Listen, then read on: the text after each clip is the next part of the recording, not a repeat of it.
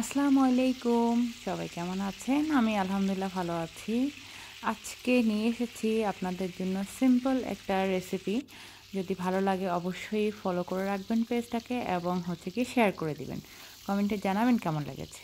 তো শুরুতেই দেখতে পেরেছেন আমি মাছ, তেলাপিয়া মাছ ভেজে নিচ্ছি হালকাভাবে। বেশি কড়াভাবে ভাজিনি। যেহেতু আমি তরকারি দিয়ে রান্না করব, তাই আর চাইলে আপনারা না ভেজেও রান্না করতে পারেন, কোনো সমস্যা নেই। এবার আমি এখানে দিয়ে দিয়েছি পেঁয়াজ।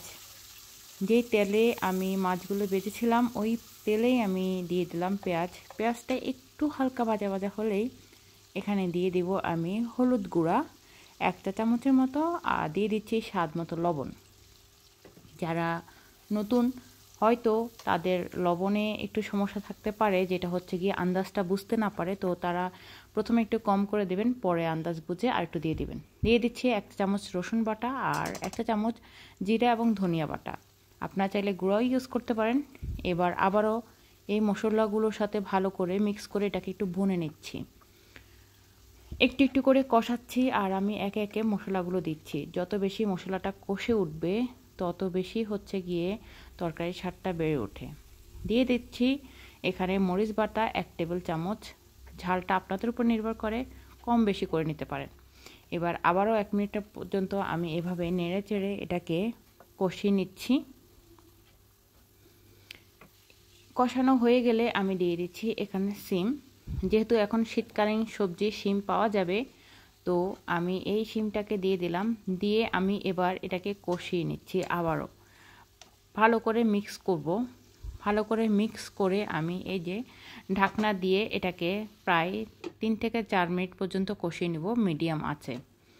মিডিয়াম আছে কষানো হয়ে গেলে এবার আমি নেড়ে চেড়ে দেখছি কি অবস্থা। আর যেহেতু শিমটা একটু দেরিতে সিদ্ধ হয়, তাই শিমটাকে আগে কষিয়ে নিলাম। সেই সাথে দিয়ে দিচ্ছি বেগুন এবং আলু। আর আপনারা চাইলে যদি বেগুন না ইউজ করতে চান, তাহলেও পারবেন। শুধু আলু দিয়ে দিবেন তারপরে। এবার আবারও আমি এটাকে কষানোর জন্য ভালো করে মিক্স করে ঢাকনা দিয়ে কষিয়ে নিব। আর আমি নর্মালি সবজিগুলোকে এভাবে মশলার সাথে একটু কষিয়ে নিই তাহলে মনে হয় যে কাঁচা যে ভাবটা থাকে, ওই ভাবটা কেটে যায়। এই যে দেখতে পাচ্ছেন, আবারও প্রায় তিন থেকে চার মিনিট পর্যন্ত মিডিয়াম লোতে আমি একদম ভালো করে কষিয়ে নিলাম। এবার এই পর্যায়ে আমি মাছটা দিয়ে দিচ্ছি ভাজা মাছ। আমি এখানে তেলাপিয়া মাছ নিয়েছি, আপনারা যে কোনো ভাজা মাছ নিতে পারেন। এবার আমি ভালো করে একটু মিক্স করে নিচ্ছি। যেহেতু আগে ভাগে মাছটাকে একটু ভেজে রেখেছিলাম, তাই একটু ভালো করে মিক্স করে আমি আবার এটাকে কষানোর জন্য দুই থেকে তিন মিনিটের জন্য রেখে দিলাম। দুই থেকে তিন মিনিট পরে আমি এর ভিতরে আমি একটা টমেটো দিয়েছিলাম। বড় সাইজের একটা, এটা স্কিপ হয়ে গেছে। তো আপনার টমেটো দিয়ে নেবেন। আর হচ্ছে গিয়ে আমি এই যে দেখতে পাচ্ছেন, মাছগুলোকে একটু তরকারির উপরে উঠিয়ে দিচ্ছি যেন মাছটা তলায় পড়ে ভেঙে না যায় তাই। এবার এভাবে উঠিয়ে দিয়ে পরিমাণ মতো আর একটু পানি দিয়ে আমি একদমই এটাকে রান্নার জন্য ওয়েট করব।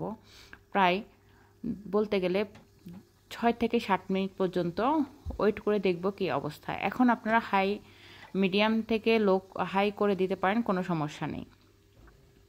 এই যে দেখতে পাচ্ছেন, আলহামদুলিল্লাহ দিলে একদমই তরকারি সুন্দর একটা কালার চলে এসেছে এবং খুবই আমি দেখতে দেখা যাচ্ছে। এবার আমি ধনিয়া পাতা দিয়ে দিচ্ছি আর সেই সাথে পরিবেশনের জন্য নামিয়ে ফেলব। আপনারা চাইলে এভাবে করে বাসায় তৈরি করতে পারেন। শীতকালীন সবজি এখন ঘরে ঘরে পেয়ে যাবেন। আমার ভিডিওটি ভালো লাগলে অবশ্যই করে জানাবেন। কেমন লেগেছে কমেন্ট বক্সে আর শেয়ার করতে ভুলবেন না। আজকের জন্য আল্লাহ হাফেজ